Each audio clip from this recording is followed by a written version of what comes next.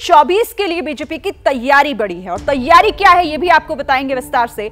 शाम पाँच बजे योगी मंत्रिमंडल का विस्तार होना है। चार नए मंत्री आज शपथ ले सकते हैं। बीजेपी से दो विधायक बन सकते हैं मंत्री। एसबी, एसपी, आरएलडी से एक एक मंत्री बनाया जाना संभव है। तो शाम पाँच बजे तक का इंतज़ार, जिसके बाद मंत्रिमंडल का विस्तार। और 80 में 80 का जो ये टारगेट है, जो 400 प्लस का नारा है, वो कैसे यूपी के ज़रिए साधा जाएगा, वो इस फॉर्मूले से समझा जा सकता है। तो पाँच बजे का समय है, इस पर नज़र हमारी बनी हुई है लगातार, लेकिन 24 की लड़ाई यूपी कैबिनेट के नए सिपाही। कुछ ज़रूरी बातें आपको यहाँ पर बताते हैं, जो सूत्रों के हवाले से हमें जानकारी मिल रही है। दारा सिंह चौहान, बीजेपी ओबीसी चेहरा है, ब्राह्मण सुनील शर्मा जो है, वो यहाँ पर ब्राह्मण चेहरा है। तो एक ओबीसी, एक ब्राह्मण, ये दो चेहरे महत्वपूर्ण। दूसरी तरफ़ ओपी राजभर, एसपी एसपी से ओबीसी चेहरा और अनिल कुमार, आरएलडी से, जो दलित चेहरा है। ये पूरा सूत्रों के हवाले से हमें जानकारी मिल रही है कि ये वो चेहरे हो सकते हैं जिन्हें कैबिनेट में शामिल किया जा सकता है। अब इसके पीछे की खबर और क्या मिल रही है? सीधा जल्दी से रुक कर लेते हैं हमारे सहयोगी संजय त्रिपाठी लखनऊ से हमारे साथ हैं। संजय 80 में 80 और जो 400 प्लस का आंकड़ा पार करने की बात कह रही है, उसका रास्ता यूपी से ही होकर जाएगा और शायद इसीलिए इस विस्तार को देखा जा रहा है। केंद्र की सत्ता का रास्ता श्रीन हमेशा यूपी से ही होकर गुजरा है। आपने देखा है कि यूपी ने कई प्रधानमंत्री दिए हैं। खुद देश के प्रधानमंत्री नरेंद्र मोदी वाराणसी से चुनाव जीत कर गए हैं और इस बार फिर वाराणसी से लोकसभा चुनाव से, चुनाव में मैदान पर है। तो आप समझिए पूरा जो गणित है पूरी जो तैयारी है वो कहीं ना कहीं उत्तर प्रदेश की जो लोकसभा चुनाव है उसमें जो 80 का लक्ष्य है उसको पाने की है। चार मंत्री बनाए जा रहे हैं दो पिछड़ी जात के हैं हम्म। एक ब्राह्मण है और एक दलित है। ये सारा समीकरण अगर इसका जाति समीकरण आप श्रीन समझें तो लगभग लगभग पिछहत्तर प्रतिशत जो आबादी है वो इसी कास्ट के इर्द गिर्द है और इन चारों को आज मंत्री पद की शपथ दिलाई जाएगी। तैयारियाँ पूरी हो चुकी हैं थोड़ी देर में राज्यपाल आनंदीबेन पटेल पहुँचेंगी। मैं अपने कैमरामैन प्रेम सिंह सिंह की तस्वीरें भी दिखाते रहे।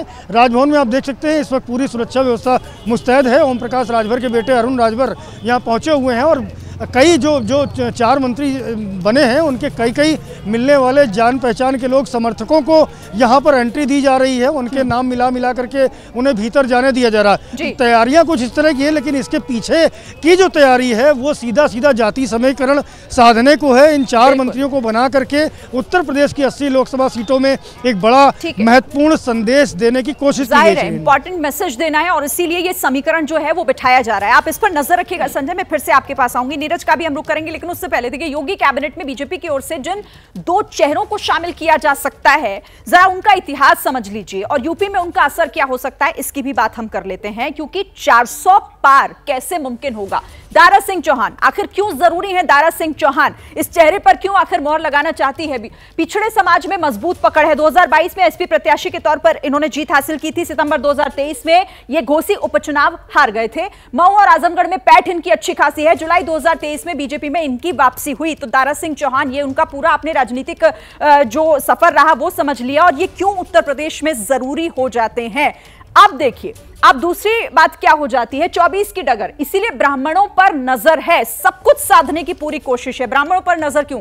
सुनील शर्मा, ब्राह्मण नेता है, साहिबाबाद से विधायक हैं। 2022 में तीसरी बार ये विधायक बने थे। इसके अलावा इंडिया बुक में इनका रिकॉर्ड दर्ज है, क्योंकि 2022 में इन्होंने दो लाख वोट के अंतर से जीत हासिल की थी। यूपी में ब्राह्मण, दस से बारह फ़ीसदी का यह आंकड़ा है, जिसे किसी भी तरीके से छोड़ना नहीं है। लोकसभा में असर क्या होगा? टेन प्लस सीटों पर इसका सीधा सीधा असर होगा। इसीलिए ये चेहरा सुनील शर्मा ज़रूरी हो जाता है। अब नीरज का रुख करते हैं। नीरज, ये जो पूरा गणित है, जिसका ज़िक्र यहाँ संजय भी कर रहे थे, क्या लग रहा है आपको कि यही समीकरण साधने के लिए आज इस विस्तार को देखा जाए? कैबिनेट का ये विस्तार? बिल्कुल लोकसभा चुनाव है लो, उत्तर प्रदेश 80 लोकसभा सीटों वाला राज्य है और इसमें जातिगत समीकरण साधना भारतीय जनता पार्टी के लिए सबसे इंपॉर्टेंट और भाजपा हमेशा से करती रही सोशल इंजीनियरिंग में भाजपा का कोई सानी नहीं अब आप देखिए दारा सिंह चौहान को हारने के बावजूद एमएलसी बनाया गया और अब मंत्री बनाया जा रहा है। क्यों बनाया जा रहा है? हम्म। आप चलिए जौनपुर आजमगढ़ घोसी मऊ से लेकर एक ये पूरी बेल्ट है जहाँ पर चौहान और नोनी समाज के एक बड़ी संख्या है जो लोकसभा चुनाव जिता तो नहीं सकती लेकिन लोकसभा चुनाव में बहुत महत्वपूर्ण भूमिका अदा अदा करती है। यानी कि जिस सीट पर आप दस हज़ार बीस हज़ार या पचास हज़ार से हार जीत का अंतर रहा हो वहाँ पचास हज़ार वोट बहुत इंपॉर्टेंट होते हैं आपको जिताने में बहुत मददगार होते हैं। तो इसलिए दारा सिंह चौहान का इस्तेमाल किया जा रहा है क्योंकि उस जाति में उनकी अच्छी खासी पकड़ है। पश्चिम में आप आइए पश्चिम में ब्राह्मण वोटरों पर पकड़ रखने के लिए आपने सुनील शर्मा को मंत्री बना रहे हैं। जैसे ही घड़ी का काटा दोपहर ढाई पे आए बबीता जी का दिल सास बहु साजिश के लिए मचल जाए। और ये है इनकी बहू।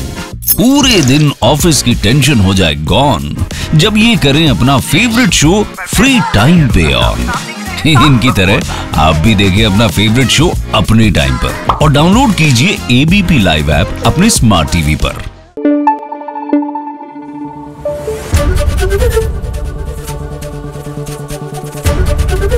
एबीपी न्यूज़ आपको रखे आगे।